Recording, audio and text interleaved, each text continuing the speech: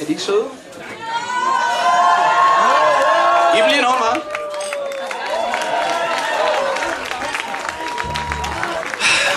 Se. Ja. Hvad satan? Kan vi lige... Skal, skal jeg lige have en løn, så? Godt, øjeblik.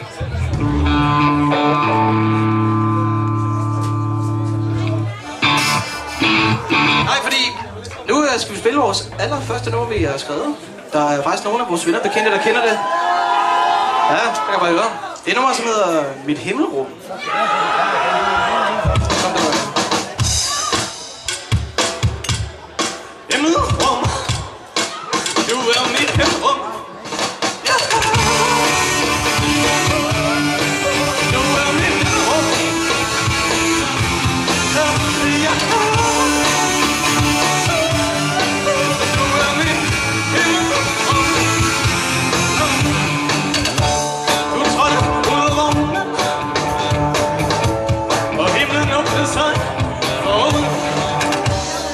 Sonunda en ben de Son kalın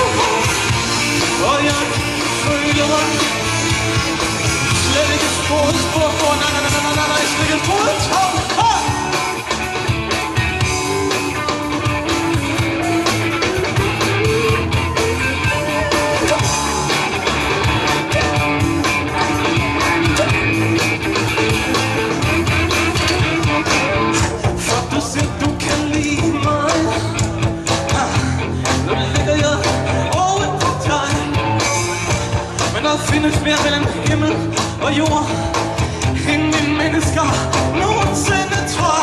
For, for du er min sol, ja, min måne, min himmelrum. Og jeg føler mig slet ikke, slet ikke smutsom. Tusind tak. Ej, hvor er det dejligt at se jer så mange. Det ligner lidt fra i går, men det kunne jeg fandme godt lide. Det er simpelthen godt.